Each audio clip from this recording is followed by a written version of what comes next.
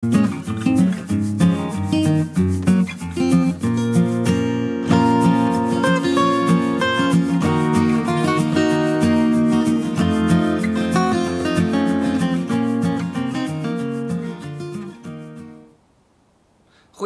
aan almal.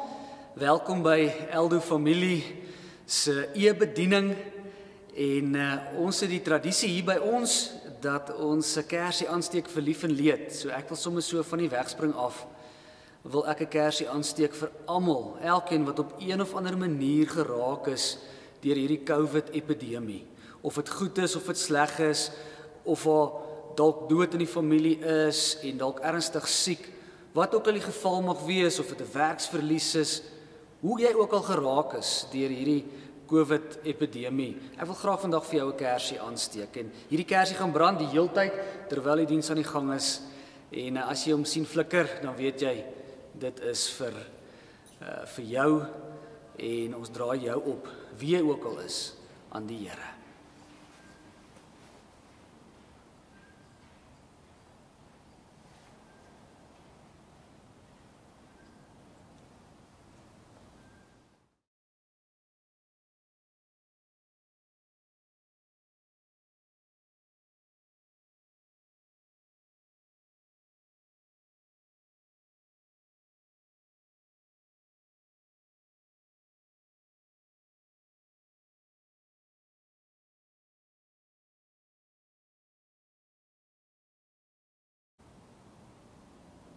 Ons foto vanoggend kom uit 1 Johannes 4 van vers 9 af. Ek lees dit graag vir jou. Hierin is God se liefde vir ons geopenbaar. Sy enigste seun het hy na die wêreld toe gestuur sodat ons deur hom die lewe kan hê. Werklike liefde is dit. Nie die liefde wat ons vir God het nie, maar die liefde wat hy aan ons bewys het deur sy seun te stuur as verzoening vir ons sondes. En daarom kan ek ook vanoggend vir jou sê genade en vrede vir jou van God ons Vader, Here Jesus Christus en die Heilige Gees wat diep intiem betrokke is in elkeen van ons se lewens. Amen. Kom ons gebruik hierdie geleentheid daar waar jy is op jou sitkamer, bank, in jou studeerkamer, hoe ook al.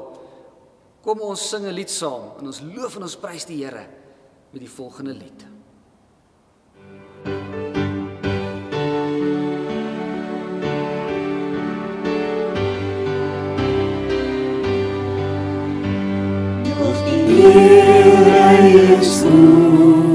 Lof sy heilige naam, laat alles in die groot deel aan die Heere loof. Ek wil Heere loof,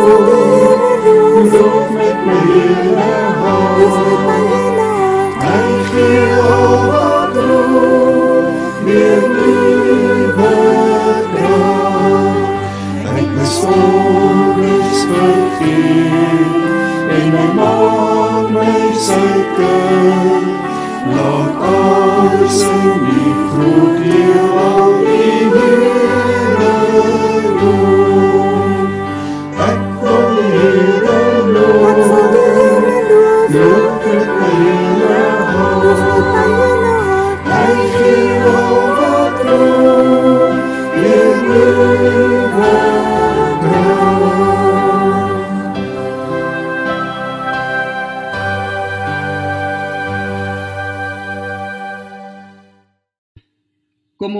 lees saam uit Johannes 15 vers 1 tot by vers 8. Ek is die ware wingerdstok en my Vader is die boer. Elke loot aan my wat nie vrugte dra nie, sny hy af. Maar elkeen wat vrugte dra, snoei hy reg sodat dit nog meer vrugte kan dra. Julle is al reeds reg gesnoei deur die woord wat ek vir julle gesê het. Julle moet in my bly en ek in julle. 'n Loot kan nie uit sy eie vrugte dra as hy nie aan die wingerdstok bly nie.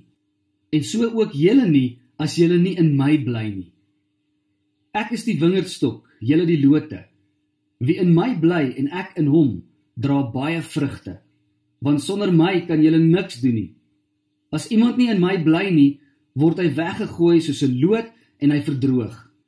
Die mense maak sulke lote bymekaar en gooi dit in die vuur en dit verbrand.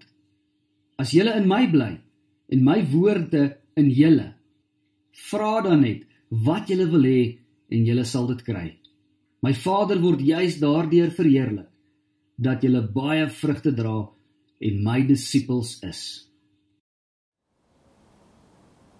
Die verhaal of die storie waarna ek en jy vandag gaan kyk, is een wat ek en jy eintlik baie goed ken. En ek het hierdie week weer so 'n bietjie met hierdie storie gewerk en en hom weer gelees en en hy het my toe weer gekonfronteer met die volgende vraag. En ek wil jou graag uitnooi en vir jou vra, laat toe dat hierdie vraag vanoggend jou ook konfronteer. En die vraag is dit: Wie is Jesus vandag vir jou? Wie is Jesus vandag vir jou? Ons leef in 'n wêreld wat amper twee pole het. Aan die een kant kry ons mense wat God en Jesus en die hele geloofsding tot nuut wil maak en sê dis belaglik, dis net dom ouens wat nog in 'n konsep van geloof vashou. En aan die ander kant kry ons weer ouens wat wat lank gelowig is en vashou en en bly glo. Maar die gevaar aan hierdie kant is dat dat geloof dat dat Jesus in 'n sekere sin amper algemeen raak. Dat dit amper ja, as Jesus ek weet van hom, ek ken hom, ek het hom al bely, maar dit is asof 'n bietjie stof op hom lê in jou eie geloofslewe. En vir oggend se gedeeltetjie vir oggend se storie wat ek en jy gelees het, sê iets vir ons, vra eintlik vir ons om die stof af te skud. En en en amper elke dag as ons wakker word, vir onsself die vraag te vra: Wie is Jesus vir jou? En dan as ek wakker word, wie is Jesus vir my vandag? Nou op hierdie oomblik as ons 'n bietjie kyk na die teks, is Jesus en sy disippels besig uh, op pad na die tuin van Getsemane toe. Hierdie is dan nou 'n uh, paar oomblikke of of dae dan nou voor hy gevange geneem gaan word en gekruisig gaan word. En terwyl hulle so stap, het hulle waarskynlik, nou ek gebruik die woordjie waarskynlik want dit staan nie noodwendig in die teks nie en daar's ook nie regtig bewyse daarvoor nie, maar dit is of die kans is goed dat dit kon gebeur het dat hulle op een of ander stadium op pad na die tuin van Getsemane toe dat hulle verby een of ander wingerd gestap het. En hierdie wingerd verbeel jy nou vir 'n oomblik sou lowergroen gewees het. Sou baie mooi na gekyk gewees het en en heel waarskynlik ook op 'n stadium reg gewees het vir oes. So hier stap Jesus en sy disippels verby en hulle sien hierdie lowergroen veld, hierdie lowergroen wingerd En Jesus gebruik hierdie oomblik om vir sy disippels iets te leer. Daar daar's wonderlike teaching oomblikke in die Bybel. En as 'n ou na Jesus kyk, het hy baie teaching oomblikke gebruik. En hierdie is dan een van daai teaching oomblikke. Hy wil 'n baie belangrike konsep wil hy met sy disippels deel. Nou wat is die agtergrond van hierdie teks? Dit is 'n komplekse storie. Dit is 'n storie wat wat jy saam met die volgende paar verse vers 9 tot tot tot 17 eh, ook moet saam lees. Want die storie vertel Jesus en dan gaan hy aan by vers 9. So ek wil jou net uitnooi, gaan gebruik hierdie week en gelees bietjie die res van van hierdie verhaal van vers 9 af tot daar by vers 17. Ek en jy moet in gedagte hou dat die disippels waarskynlik baie goed hierdie beeld van die wingerd sou verstaan het. Onthou, baie van hulle kom uit die Joodse geloof uit, die Joodse tradisie uit En vanuit die Joodse tradisie was hulle goed bekend met die beeld van die wingerd gewees. Dink so 'n bietjie aan tekste soos byvoorbeeld Jesaja 5 en Psalm 80 wat praat van die wingerd. En en daar in hierdie gedeeltes is is die Israeliete. Hulle is die wingerd. En dan kom Jesus en hy gebruik hierdie selfde verhaal wat hulle baie goed ken en hy verander hom om dan op die einde van die dag 'n baie belangrike diep boodskap en beginsel met die disippels te deel. Interessant genoeg ook in Johannes in die Johannes Evangelie is hierdie waarskynlik ook uh een van die laaste ek is uitsprake van Jesus. Ek is die wingerd. Daar's 'n paar wonderlike beginsels wat ek en jy uit hierdie verhaal kan uithaal. En ek wil graag so 'n bietjie dit met jou deel. Die eerste beginsel, Jesus sê hy is die ware wingerdstok. Daar is klomp gelowe daar buite Daar's klomp maniere om te glo en daar's hierdie universele geloof konsep waar waar enige geloof op die einde van die dag by God uitkom. Dat sodat God is altyd bo en maak nie saak watter geloof jy het nie, jy gaan in elk geval by God uitkom. Dis net verskillende paadjies of verskillende interpretasies. Nou ek weet nie van jou nie, maar as ek hierdie gedeelte lees, dan wil die skrywer van die Johannes Evangelie baie duidelik vir ons sê, Jesus is die ware wingerdstok. Daar's niemand anders soos hy nie. Hy's die enigste weg tot die Vader. Jesus is nie net 'n stukkie van die wingerd nie. Hy's nie 'n takkie waaraan ons dan nou groei en dan is hier 'n moslem takkie waaraan die moslems groei en is alles dan nou vas aan God nie. Nee, Jesus sê hy is die hele wingerd. Ons moet deur hom na God toe gaan. Niks anders wat voor Jesus gekom het of wat na Jesus kom. Alles is is ondergeskik aan die feit dat Jesus die ware wingerdstok is. So kom terug na my vraag in die begin vir jou. Wie is Jesus vandag vir jou? Is hy die ware wingerdstok? Is hy die enigste wingerdstok? Die tweede beginsel wat ek en jy na kan kyk Julle is in my en ek is in julle, sê Jesus. Julle is in my en ek in julle.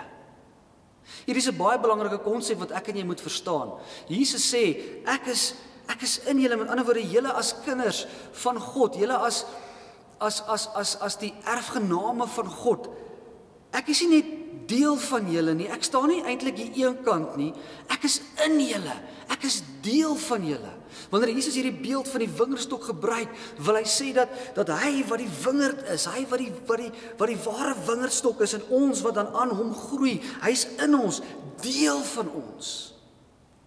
Ek weet nie van jou nie, maar dit is 'n wonderlike konsep om aan te dink om die ware wingerdstok Jesus Christus is deel van ons. Hy sit nie daar ver op 'n troon of staan nie eenkant nie.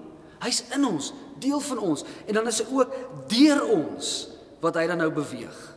Dink so 'n bietjie aan jou eie lewe, dink so 'n bietjie aan die kerk. Hoe lyk kerk vir jou vandag? Is is is kerk soos wat ons nou vandag hier in die kerk uh staan of ek ten minste hier in die kerk staan, is hierdie kerk gewortel in Jesus. Met ander woorde, is Jesus die ware wingerdstok van dit wat hier gebeur. Is Jesus in jou? Is hy in jou en nie net deel van jou nie, maar is hy jou alles? Ek en jy leef in 'n baie individuele wêreld waar die wêreld vir my en jou leer dat ons is elkeen maar op ons eie missie ergens op pad heen. En dit maak dat ons dit in ons geloofslewe ook inlees dat dat ons hierdie konsep van is eintlik maar net ek en my geloof. En en dis nie wat Jesus vir ons sê nie. Jesus sê hy is deel van ons. So so is asof ons Jesus ook dan een kan sit met ons met met hierdie houding wat ons het dat dat, dat alles in hierdie wêreld ek moet veg vir my plek in hierdie lewe. Jesus sê nee, ek is deel van jou. Ek is in jou en jy is in my. En so ook is jy deel van die geloofsgemeenskap, al die ander lote wat aan hierdie wingerdstok vas is, die kerk en die medegelowiges wat om ons sit. Dis deel van hierdie visie, dis deel van wie God is, is deel van wie Jesus is. Ons is almal saam. Ons is nie op ons eie missie elkeen op pad nie. Dis waar die konsep van die gemeenskap van die gelowiges dan nou ook op die einde van die dag na vore kom. Derde beginsel wat ek met jou wil deel is daar's 'n boer wat na die wingerd kyk. Jo, ek weet nie van jou nie. Maar hierdie laat my hart vinnig klop om te weet daar is 'n boer, daar is iemand. Daar is 'n God wat omsien na sy na sy wingerd. Met ander woorde, Jesus wil vir ons sê dat dat God ons nie los nie. Dat God nie los dit waarmee ek en jy besig is nie dat dat dat dat God nie vir my en jou net eenkant toe skuif nie dat God betrokke is by my en by jou. Die feit dat die boer na sy na sy na sy wingerd kyk, sê Jesus vir ons dat dat dat God kyk na ons. Hy is lief vir ons. Ons is vir hom belangrik. Daarom kyk hy na ons. Daarom snoei hy ons. Ek en jy vat baie keer hierdie hierdie gedagte van snoei vat ons verkeerd op. En dis dan ook die vierde ding wat ek met jou wil deel.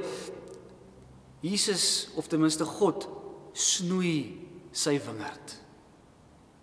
Ek en jy dink baie keer dat dat, dat ons hierdie hierdie gedeeltes moet moet moet moet ervaar as asof God sommer die hele 'n wingerd uitruk en van voor af begin en dis nie wat hy doen nie.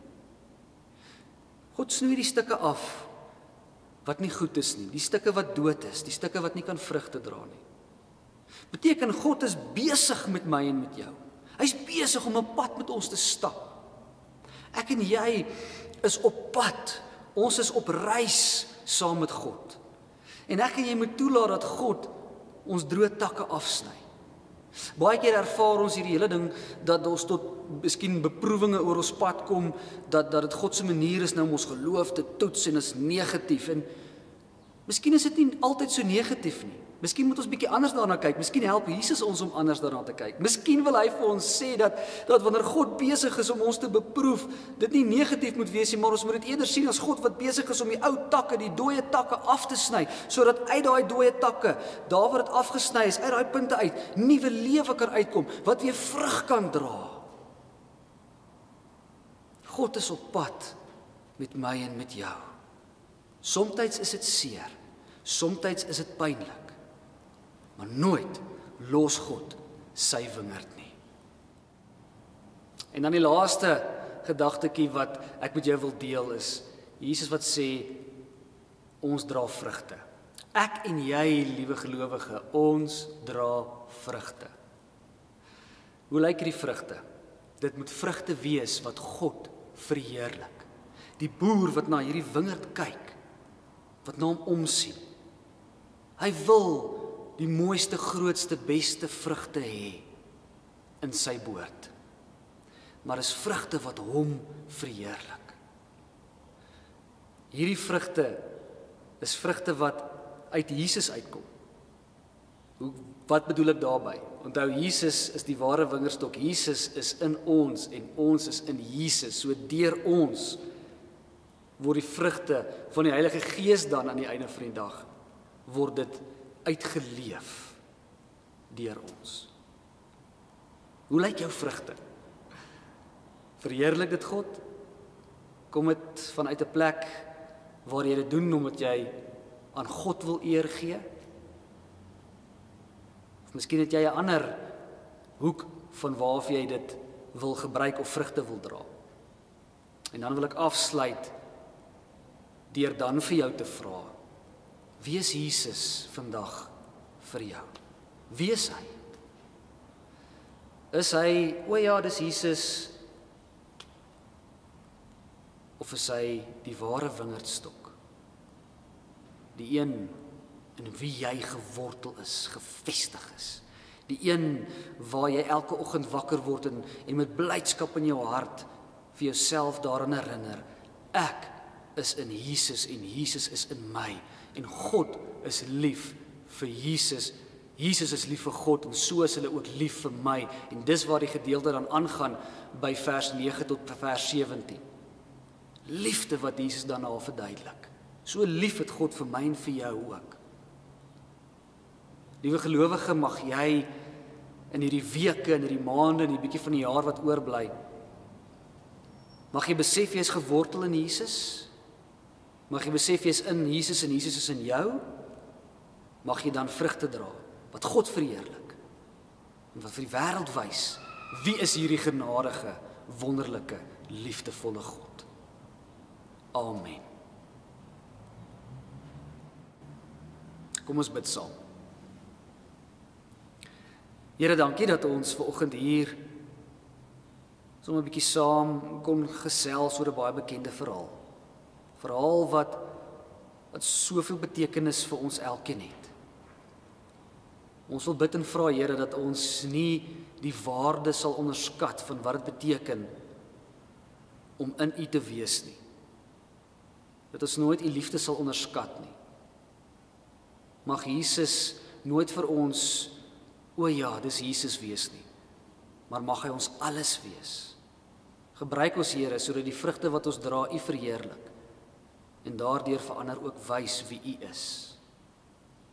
Ons dink sommer so Here aan almal wat wat op een of ander manier hierdie COVID geraak is. Mag hulle nooit twyfel dat u by hulle is nie. Mag hulle nooit twyfel dat u elke tree saam met hulle gee nie. In Jesus naam. Amen. Kom ons sluit dan ook nou af met 'n wonderlike lied wat ek en jy gaan opdra aan die Here.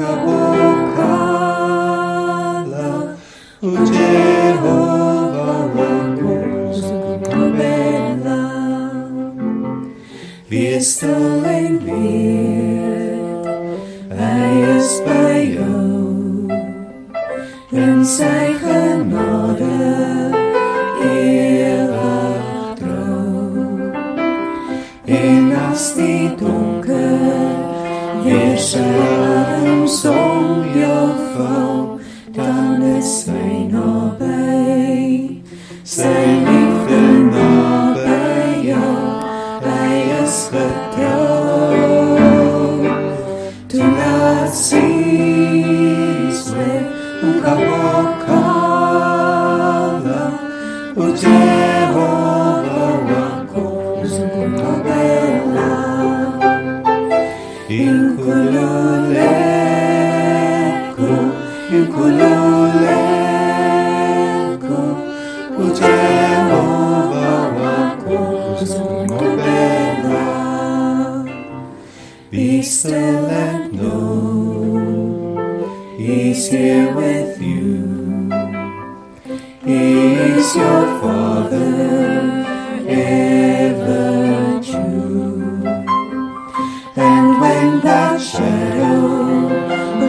his wing falls over you, is still closer. His love is closer still. He's here with you. Do not cease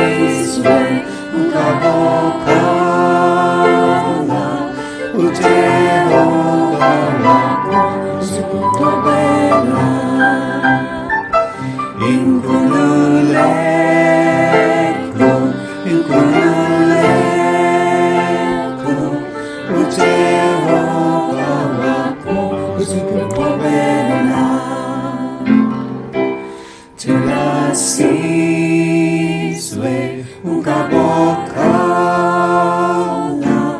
o Jehová wako usimkopela. Inkunuleku, inkunuleku, o Jehová wako usimkopela. He's still in